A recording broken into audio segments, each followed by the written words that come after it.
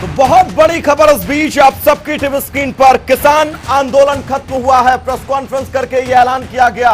किसान नेताओं की तरफ़ से कि वो अपना आंदोलन वापस ले रहे हैं।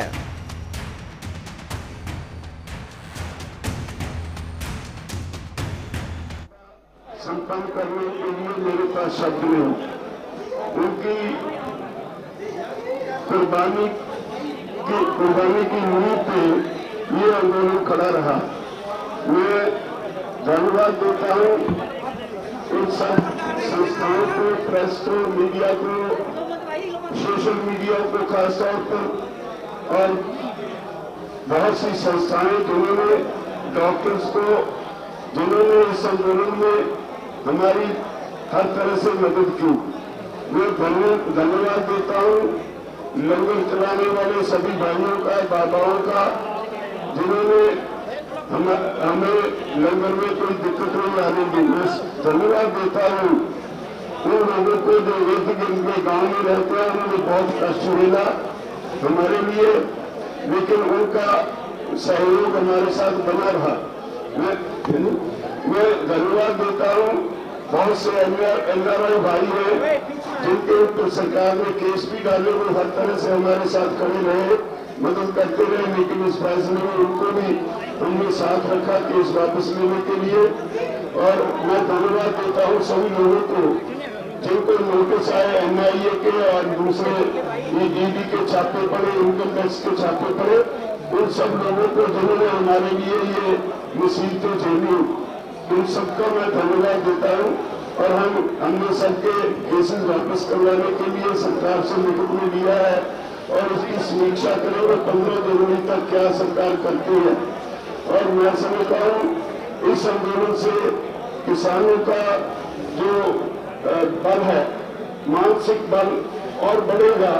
और आगे की बार जब आंदोलन की ज़रूरत पड़ेगी एसकेएम एक ऐसा ऐसी संस्था खड़ी हो गई है सारे देश के किसानों के लिए नहीं, बल्कि सारे देशवासियों के लिए, दुनिया के लिए एक नया स्वरूप आंदोलन का देने वाली संस्था खड़ी हो गई है, जो सरकार के हर गलत काम का हर समय पे जो करारा जवाब देगी। तो मैं मैं सभी टीवी चैनल्स का और सोशल मीडिया का एक बार फिर सबको धन्यवाद देता हूँ। आपने हमें इस आंदोलन में कवरेज दी और हमारी बात लोगों तक पहुंचाई। मैं धन्यवाद देता हूँ हर गाँव की पंचायत को जगह जगह से मैं धन्यवाद देता हूँ सबको जो यहाँ राशन और बाकी सहायता देते रहे जथे देते रहे। मैं धन्यवाद देता हूँ कुर्ली की पंचायत को, खास तौर पर टीकरी की पंचायत को, शाहजहांपुर में और गाजीपुर में, पलवल में, जिन लोगों ने हमारा पूरी तरह से हर तरीके से पूरा साथ दिया और हमारे साथ खड़े रहे। मुश्किलें भी झेली लेकिन हमारे साथ खड़े रहे। मैं धन्यवाद देता हूँ कटारिया टाइम्स के मालिक और राणा जी का जिन्होंने दूध की, आटे की वगैरह सप्लाई वगैरह में कोई कमी नहीं आने दी मैं सबका धन्यवाद देता हूँ वॉलंटियर्स को, जिन्होंने इसको कंप्लीट करने में हमारी मदद की। हॉकी की टीम्स का जिन्होंने दिन रात एक करके इस मोर्चे में अपनी ज़िम्मेदारी नहीं निभाई, हमारी मदद की। तो अब मैं निवेदन करूँगा। हमें मौला जी वो अपनी तरफ़ से कुछ कहेंगे। अब हन्नान मौला जी बोलेंगे। आप कोऑर्डिनेशन कमेटी के मेंबर हैं। थोड़ा वॉल्यूम कम कर दो भाई कोऑर्डिनेशन कमेटी के मेंबर हैं। आठ बार। आठ बार पार्लियामेंट के मेंबर भी रह चुके हैं। हन्नान मौला जी हमारे लिए ओपनिंग बैटिंग राजेबाज जी ने की है लास्ट बैट्समैन राकेश टिकैत रहेंगे। जी। साथियों पहले मैं संयुक्त किसान मोर्चा की ओर से पूरा देशवासी मीडिया और किसान जो संघर्ष किया सबको मैं अभिनंदन करता हूँ। आज जो किसान आंदोलन हुआ, ये किसान आंदोलन आज़ादी का बाद हिंदुस्तान के सबसे बड़ा जनवादी आंदोलन है। दूसरे है, आज़ादी का बाद सबसे ज़्यादा शांतिपूर्ण आंदोलन है। और इसके साथ साथ हिंदुस्तान के जनता का जो एकताबद्ध आंदोलन है, इतना बड़ा एकता भी हिंदुस्तान में कोई दिखाई नहीं दिया है। आज किसान एक नया परिचय मिल गया। आज जात के नाम पे, धर्म के नाम पे बांटने का साजिश ये देश में चल रहा है। मगर आज किसान आंदोलन दिखा दिया, हम हिंदू ना, मुसलमान ना, सिख ना, ईसाई ना, हम जाट ना, हम किसान है। और किसान एक नया परिचय ये आंदोलन ने तय कर दिया। इसी आंदोलन आज जनवाद पर हमला हो रहा था संविधान पर हमला हो रहा था राइट टू डिसीज़न खत्म किया जा रहा था मानविक अधिकार हमला हो रहा था। ये सारे को सामने एक बड़ा चुनौती खड़ा किया। एक नया बुनियाद बनाया। इस बुनियाद के आधार पर आने वाला दिन में सारे जनवादी आंदोलन इकट्ठा होकर लड़ाई को आगे बढ़ाएँगे और इसके इस लड़ाई को जो नेतृत्व किया, आने वाला दिन में भी इसको आगे बढ़ाने का काम करेंगे। पंद्रह जनवरी तो दोबारा हमारा सरकार का जो काम, उसको निगरानी करके, उसको समीक्षा करके आगे वाला कार्यक्रम हम ऐलान करेंगे। अब गुरनाम सिंह जी। सरदार गुरनाम सिंह चढ़ूनी, आप भी कोऑर्डिनेशन कमेटी के मेंबर हैं। पत्रकार भाइयों का धन्यवाद है जो आप लंबे समय से इस आंदोलन से जुड़े हुए आवाज़ उठाते रहे सभी का धन्यवाद तो माननीय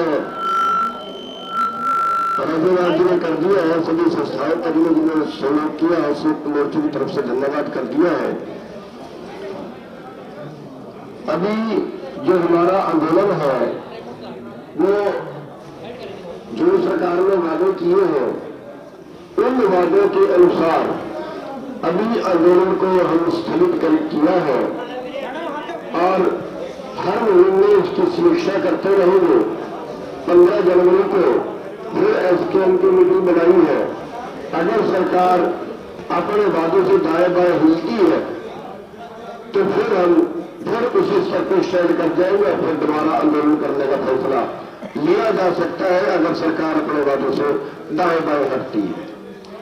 और अ, जो अ, सब दुनिया का सबसे हठी आदमी हम कह सकते हैं सबसे हठी प्रधानमंत्री कह सकते हैं जिसको इस आंदोलन ने झुकाया है जिसको देश के किसानों ने झुकाया है और एक तरह से उनका धन्यवाद भी करते हैं कि उन्होंने देश के किसानों को इकट्ठा कर दिया।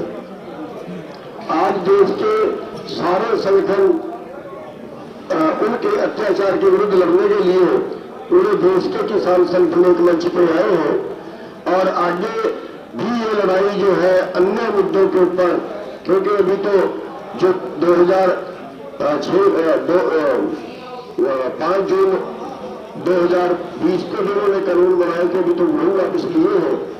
उसके पहले की जो स्थिति किसानों की थी वो भी अच्छी नहीं थी। उसके सुधार के लिए अभी लड़ाई बाकी है और उसको कदम दर कदम हम आगे बढ़ाते रहेंगे और अ, हर महीने जो है वो समीक्षा करके देखते रहेंगे कि सरकार ने अभी तक क्या किया है और उसके बाद अगला कदम जो है वो उठाते रहेंगे। तो बहुत कुछ बोलने के लिए नहीं है। तो और जो हमारा आज का जो आंदोलन है, वो हम यहाँ पे स्थगित कर रहे हैं, एक बात आप जान रहे हैं कि उसको समाप्त नहीं, स्थगित कर रहे हैं। और पूरे जो मुकदमे किसानों पे, उनके सहयोगियों पे, एनआरआई पे, किसी कर्मचारी, व्यापारी, पत्रकार पे कोई छापा पड़ा हो, शहीदों को मुआवजा, ये सभी मांगे सरकार ने जो है हमारे से मान, मान, जो है मानी है और उसकी हर महीने समीक्षा करने के बाद हम अगला स्टेप उठाते रहेंगे सबका धन्यवाद। शिव कुमार कक्का जी मध्य प्रदेश से हैं। आप भी कोऑर्डिनेशन कमेटी के सदस्य हैं। बंधुओं नमस्कार। हमारे सभी साथियों ने सभी सहयोगियों को जो आंदोलन में सहयोग करते रहे हैं उनका आभार व्यक्त किया है, धन्यवाद दिया है। मैं संक्षेप में इतना कहूँगा कि देश के तमाम लोग विभिन्न क्षेत्रों के, चाहे वो अधिकारी हो, कर्मचारी हो, व्यापारी हो, नागरिक हो, जिनको हमारे इस आंदोलन से तकलीफ़ हुई है, उनसे हम माफ़ी मांगते हैं, क्योंकि आंदोलन जब होता है तो कहीं ना कहीं दिक्कत, परेशानियाँ होती हैं। शहीदों को श्रद्धांजलि देता हूँ ड्राफ्ट का जहाँ तक सवाल है, जो हमारा चलता चलता रहा, आप लोगों के पास हमसे पहले ड्राफ्ट पहुँच जाता था, क्योंकि आपका तंत्र हमसे ज़्यादा मज़बूत है। हमारे पास ड्राफ्ट बाद में आता।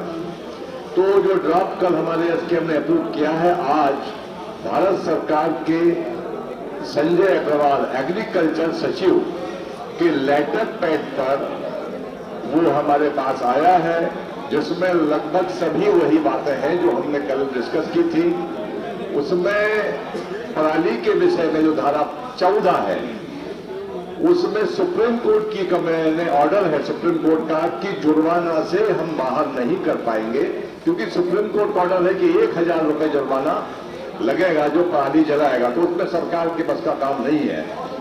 दूसरा विषय हमारा है कि जो एक चर्चा बहुत करते हैं, हमारे पत्रकार ये पूछते हैं कि क्या आपने लखीमपुर खीरी का मामला छोड़ दिया? हमने छोड़ा नहीं है।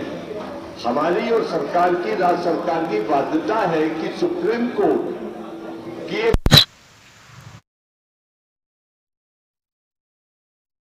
सरकार अभी हस्तक्षेप नहीं कर सकती है। बंधुओं, पंद्रह जनवरी को हम लोग फिर बैठेंगे।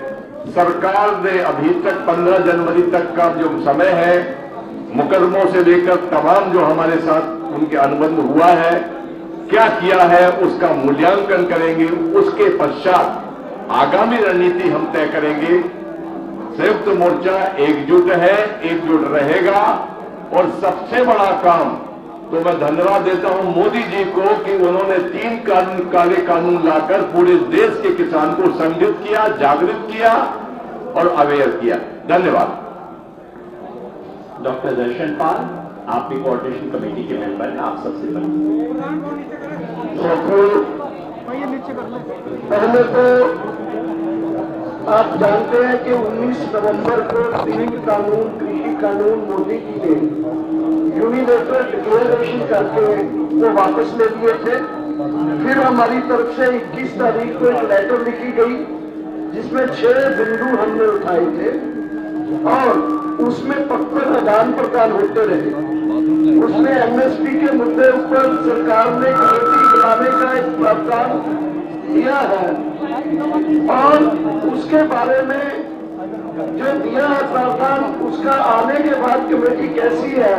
मोर्चा जो है, उसको कमेटी बनाने को अपनी एक तरह की एमएसपी के आगे जो लड़ाई लड़नी है, उसकी तैयारी के रूप में सोचता है। केसेस के बारे में हरियाणा यूपी हिमाचल, उत्तराखंड, सब जगह के केसेस जो है, हर तरह के, आज इमीडिएटली पहले था कि आंदोलन वापस लो फिर वापस लिए जाएँगे। लेकिन इमीडिएटली तत्कालीन तौर पर केस वापस लेने की प्रक्रिया शुरू हो जाएगी। वो चाहे यूनियन टेरिटरी से दिल्ली है, या बाकी प्रांत है, सरकार ने वादा किया है कि वो केस वापस होगी। पावर बिल के ऊपर भी ये आया है कि स्टेक होल्डर्स के साथ साथ फार्मर्स के साथ डिस्कशन करने के बाद ही किसानों का मुद्दा जो है पावर बिल से निकालने का, वो किसानों के साथ डिस्कशन के बाद ही उसको संसद में लाने का वादा किया है सरकार ने। पराली बिल के बारे में, दूसरे बारे में साथियों ने बता दिया है।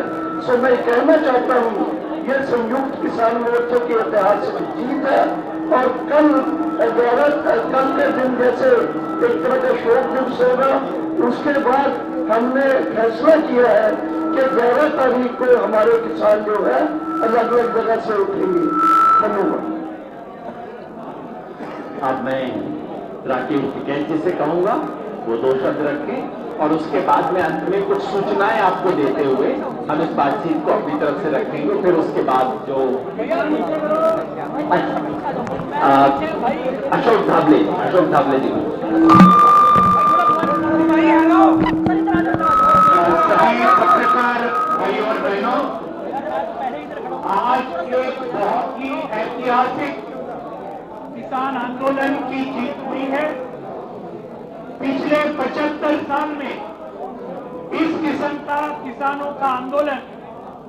ये पूरे भारत में नहीं हुआ और पूरे दुनिया में भी नहीं हुआ।